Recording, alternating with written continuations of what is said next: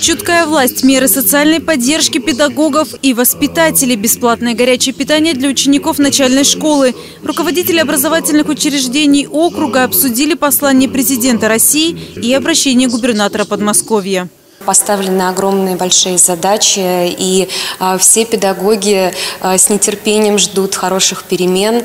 А, и я думаю, что наконец-то настало то время, когда да, и педагоги могут понимать и осознавать, что их профессия, она наконец-то оценена по достоинству. Татьяна Викторовна Одинцова, как никто другой, знает все проблемы сферы образования. За ее плечами 14 лет в должности директора школы. Это, наверное, для учителя и для воспитателя такое послание интересное, очень много нужных моментов для жизни.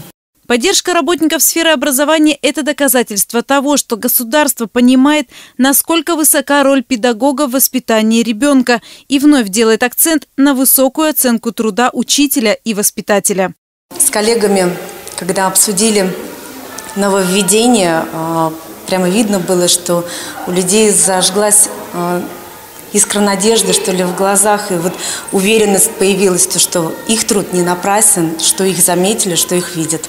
Строительство новых школ и детских садов – еще одно из приоритетных направлений. Рождаемость повышается, а значит и места в учебных заведениях должны быть для всех. Мария Шматкова, Артем Ломоносов, телекомпания «Одинцова».